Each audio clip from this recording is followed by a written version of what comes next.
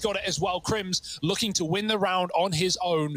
1v2 bomb in the open. He can't see it, but Liquid have to cross into his sight to get it. Krimz waits and he lets them pick it back up. As he backs up 30 seconds, he knows they're not going B. They're in for a penny, in for the round. Krimz waits as he resets and lets them plant. Yeah, he might be giving them the respect for now. But just you wait. Krimz is about to strike. They've lost him.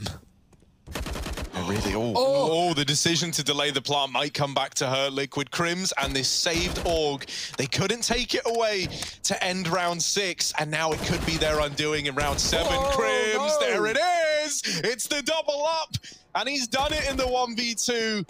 He violates the golden rule as well, right, of gets one and dies. Krimz takes them all down and the defuse is in. Fnatic, they grab their first, and it's on the back of a saved